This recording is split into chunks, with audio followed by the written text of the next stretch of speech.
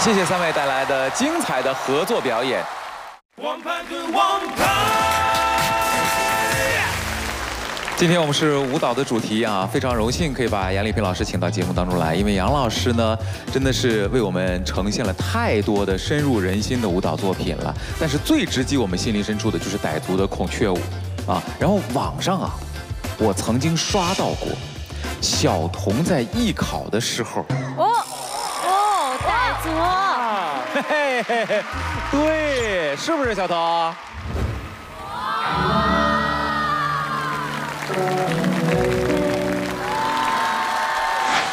原来这一趴到我了。你学会傣族舞是吧？没有，不专业，不专业，就艺考的时候学了一小段。哎，今天如果再跳一遍，那压力可能比艺考还大。来一遍好不好？这么突然吗？小腾要晕过去了。重现一下艺考时期的傣族舞。来吧，小童。哎呀！哎呀！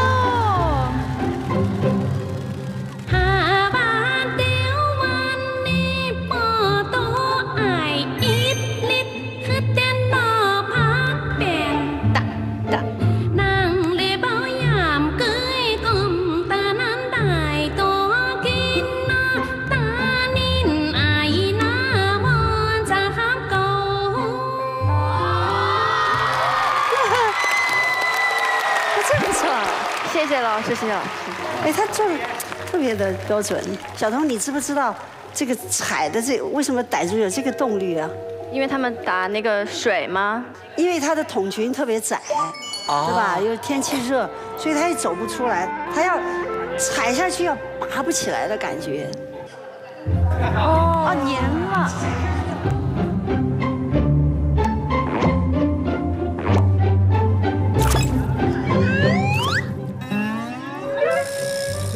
上哪儿偷去？上哪儿偷？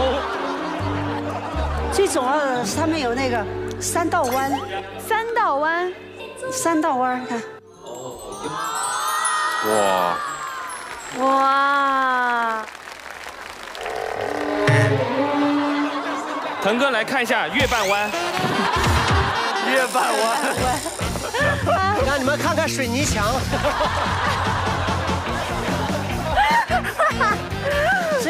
真不错，谢谢老师。好的好的，没想到。可以。哎，杨老师，是不是局部的肢体控制其实比整体会更难？对，因为我觉得舞蹈它就是，呃，就是那个寸劲儿，还有那个细腻的感觉。嗯。哈，你比如说你这个手，你要，你你要给自己找麻烦，过不来，对抗。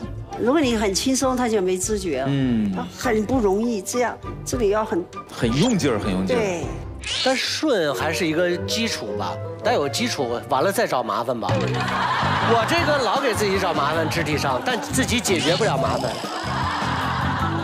很难的，很难，非常难。你比如说，楚曦，他芳华里面有一个那个叫什么抖肩舞吗？哦，碎抖肩，蒙族。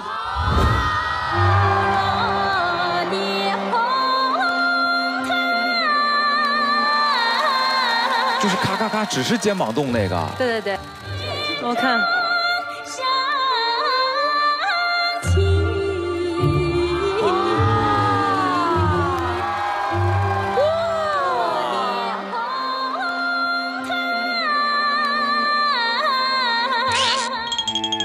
腾哥，你这抖的。学学人家那个，真的是局部控制的非常好。我这个我我一回齐哈尔，我就不自然的我就跳上来了。所以你是有天赋的，有天赋，不要怀疑。他没怀疑过自己，这就是最糟糕的一点。你知道那个抖肩舞是怎么来的吗？因为蒙古人他骑在马上，对吧？他一颠一颠，他就。哦，这么来的。啊，都是有民族特色的民族舞。傣族舞也有抖肩哦，孔雀开屏的那种，它也是哦，开屏的那一瞬间。对。哎呀，你这是触电那一瞬间。哥，你的脸抖的很厉害。抖脸舞，下一个的抖脸舞。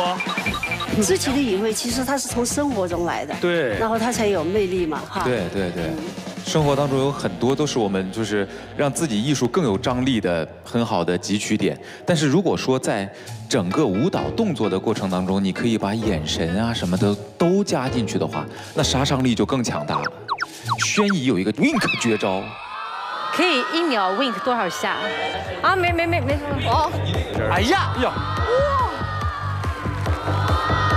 哎呀妈呀，哦，哎呦，你能分开？你这有点像 AI 呀、天哪，这怎么练的？你这以后就是你以后就是那什么六六小龄童接班人了，你这是。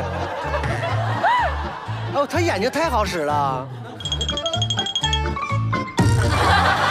金靖行吗？这个金靖应该是整个脸部一起。不是，你要有明显点啊！哎呀哎呀哎呀呀！全都是平时看小宋的表情，全都是平时的表情。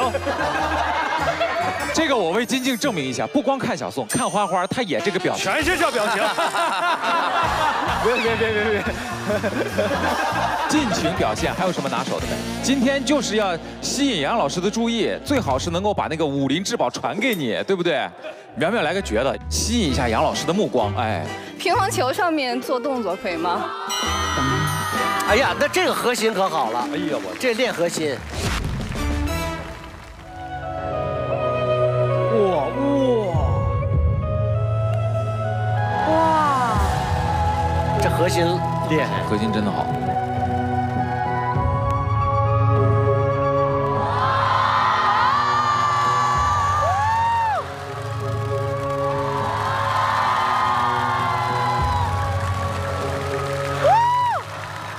害厉害厉害！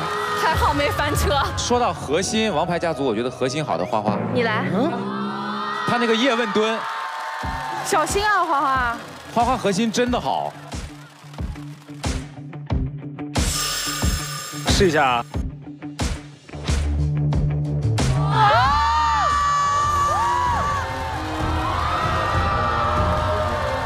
哇，